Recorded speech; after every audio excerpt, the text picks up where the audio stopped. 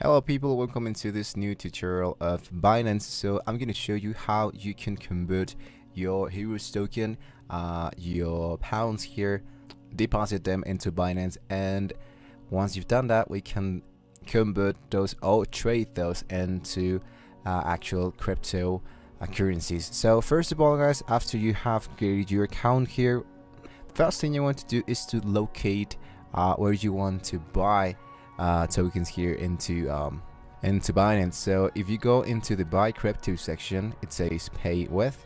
Here you have a bunch of uh, options where you want to buy your tokens. But first, click in here so you can select the currency that you want to select, that you want to uh, work with.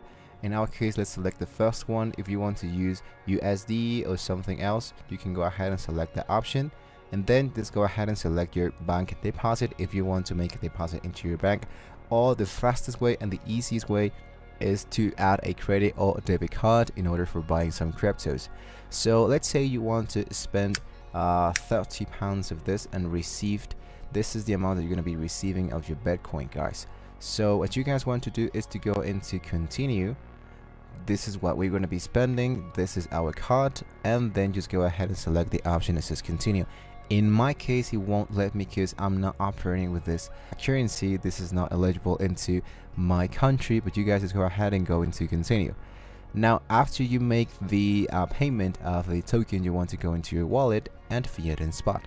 In there, you're going to see that your assets are now available. So either you buy some Bitcoin, Cosmos, or BNB. It doesn't matter if you only have a few tokens to buy because you can make uh, trade, you can convert those tokens into other ones inside Binance as well. So let's say you have a few of BNB into your account, right? So af after you find your token here into your fiat and spot section, do you want to go into the action section and go into the convert section. Why is that? Because if we clicked into the convert section, it's going to be sending us into Binance Convert, which is actually really, really simple just by converting uh, a specific token into another one. So for example here, this is from, I want to select a token, a specific token, I don't know, maybe atom here. Uh, let's say one atom and we want to trade that uh, atom for Ethereum. Then we preview the conversion here and it's going to be popping up a price. The price of one atom is equal to this amount of Ethereum and this is the inverse price of one Ethereum, this amount of atom here. So this is what we're going to be receiving guys and just go ahead and to continue. Now in this case it's insufficient balance because I don't have enough tokens of Atom to continue but you guys that have the amount of money just go into uh, refresh and go into continue. After that you can go into your wallet and go into the fiat and spot once again only to see that the asset that once were uh, let's say for example Bitcoin are now a new asset that you just convert a few seconds ago.